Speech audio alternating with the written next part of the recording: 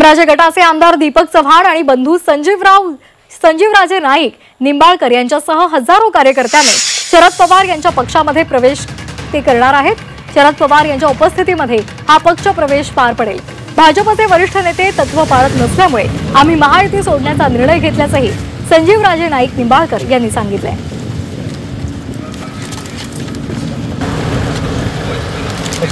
आपण जाऊ. आमचे काही कार्यकर्ते ओढायचे आणि त्यांना भाजपच्या वरिष्ठ नेत्यांनी त्यांना त्या ठिकाणी विविध आमिष दाखवून त्यांना भाजपमध्ये येण्यामध्ये आकृष्ट करायचं. अशा प्रकारचं जे राजकारण चाललं होतं आणि त्या दृष्टीने आम्हाला हा निर्णय घेणं क्रमप्राप्त झालं.